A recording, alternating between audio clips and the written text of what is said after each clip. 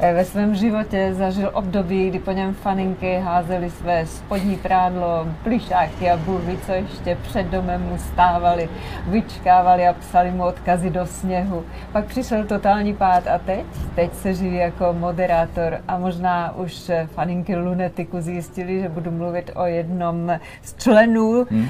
dá se říct už legendární skupiny Lunetik, Alešem Lehkým. Aleši, já vás zdravím, dobrý den.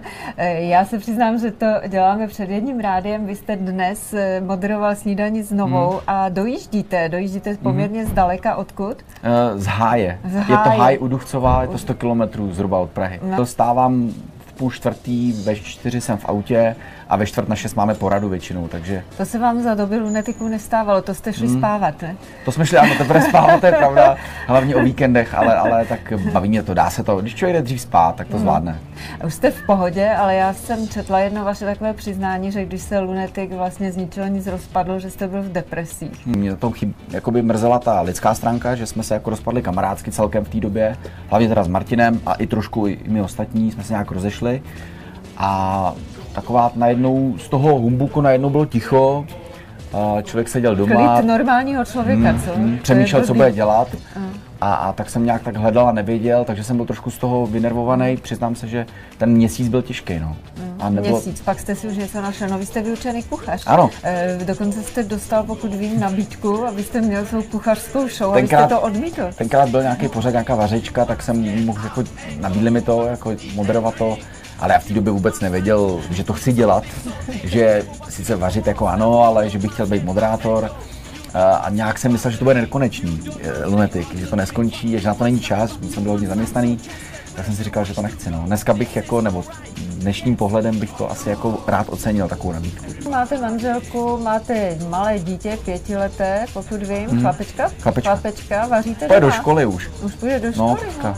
Uh, vaříte doma? Vařím, uh, musím, ne, moje žena má ráda moje jídlo. Vy jste se změnil, protože když jste teda jako i přiznával, že jste teda tak, jako... Jo, tak teď jsem ženatý, tak jsem se změnil. Jo? jo jasně. A je to lepší, když si člověk takto vybouří to mládí mm. a vymění spousty. Je, je. Dokázal byste spočítat, kolik jste měl? To nevím. To nevím, ale nepočítal jste nepočítal. zářezy jak John Lennon nebo jak, jak já nevím, Mick Jagger.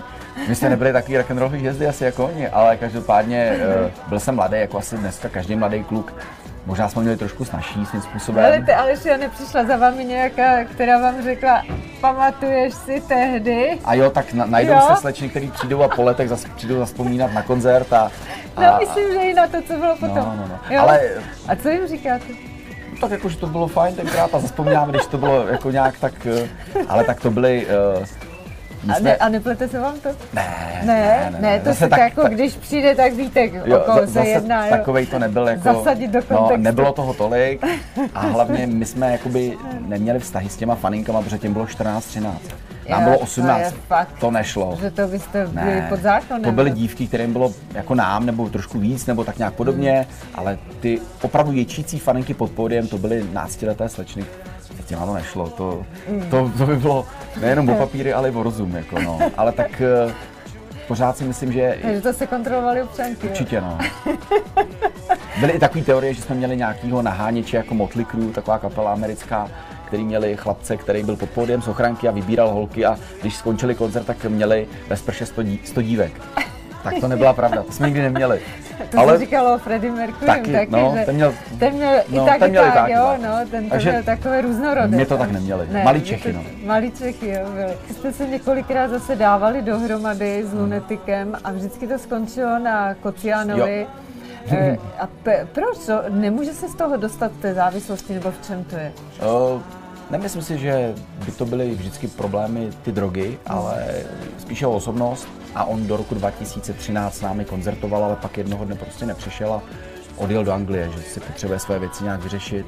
A vyřešil si je Snad jo, my nejsme v kontaktu, on nás potom kontaktoval, chtěl se nějak vrátit, ale už to bylo tolikrát, že už jsme nechtěli. Už... Žijete ještě ve vzpomínkách, nebo už jste toto za? No tak... Teď, když vás jsem to nahodila, tak zaspomínáte, jinak se k tomu nevracíte. No, skoro každý víkend vzpomínám, když jedeme s, s klukama na koncert někam, do nějakého klubu nebo do nějakou slavnost městskou nebo firmní akci, tak vzpomínáme. Já jsem zažil jako hrozně hezkou věc, na kterou nikdy nezapomenu. Mám knížky, mám prostě CDčka, videokazety. Co dopisy a No, těch a bylo to. plná půda, ještě snad možná Máte u to maminky. ještě, maminka, maminka se snažila odepisovat, no, dost jako Maminka? poctivě, no. No ona prý maminka, to jsem někde četla, i vařila faninkám, které byly dolů čaj. To No. jsem viděla ve filmu o Preslim, se to říkalo, nám- kde ta maminka buchty tam No, nosila. oni nám spali před barákem. Já měl starový městečko za, dom, za uh, činžovním domem v Litvínově a, a v zimě tam i byly ty slečny a bylo zvláštní, že oni dokázali být, uh, nevím, odpoledne v Ostravě a večer byli u nás. Jo. Prostě. Aleši, a, a chápete to? Ne, vůbec. Mohu ještě takovou otázku, já vím, kolik se, když je člověk na vrcholu, eh, vydělává. A jak jsem četla vlastně vaše rozhovory, a to se netýká teď jen vás, ale všichni jste se přiznávali k tomu, že když jste se rozpadli, neměli jste skoro nic. Eh, Bylo to, eh, utrácel byste teď už jinak? A je, je, úplně jinak. Teď mám rodinu a vím, co kolik stojí. A je mi 30, skoro 7 let, tak eh, už samozřejmě mám nějaký závazky a tady ty věci, tak dneska už mám rozum. Ale nám bylo tenkrát vážně těch 17, 17, 18 let a byli jsme z malého města, z- jakoby z normální A teď do toho přijdou fakt dělnických rodin. No. jo, takže... A, a najednou prostě přišly fakt ty tisíce miliony, jak říkáte, tak to zamotá hlavu. Najednou, ale člověk začne tak jako... Jakou největší blbost jste si koupil? Je. V oblečení bylo drahý samozřejmě, jako člověk, eh, mejdany, že jo. Přijel jsem, mejdany, přijel aha. jsem domů po týdnu, tak se s tadyma kamarádama v hospodě platil jsem všem. Kdybyste utrácel rozumně, měl byste teď hypotéku? To možná ne, respektive už tenkrát bych ten dům asi postavil, ale to je zkušenost. To je Ale takový teď to... se vydělává hůř. Teď už je to práce, co? Větší. Jo, je, je, ale, ale zase jsem se naučil, že žil jsem s nějakýma velkýma penězmi, pak i s menšíma a teď tak akorát. A je to příjemný.